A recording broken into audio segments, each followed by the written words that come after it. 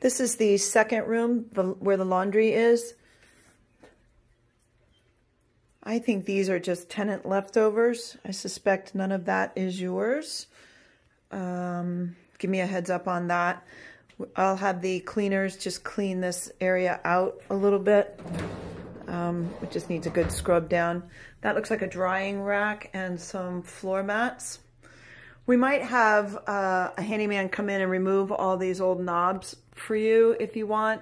Um, they're, they're not being used for anything. Then we just have racks.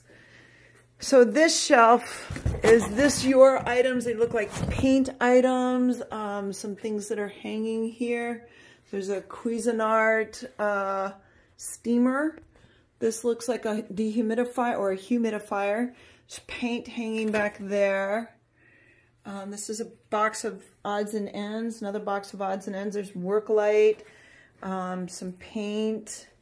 That looks like maybe a, um, a small generator. Uh, and then some boxes here. Here's some old crates with a, um, a Bissell floor sweep. Lots of paint hanging there. Um, we have a rug here. And then on this shelf, these look like tools and, and uh, light bulbs. Um, maybe all of this could go in a, in a um, storage box. I do have a vendor now that does this kind of work.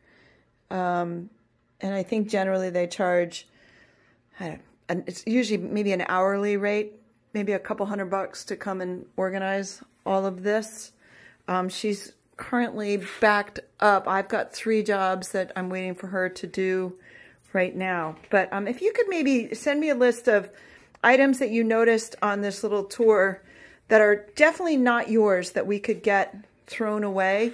The new tenants are coming in Tuesday. Um, I'm trying to get my cleaner here tomorrow. I, um, I want to give her an idea of what we needed. Uh, so your thoughts would be very helpful.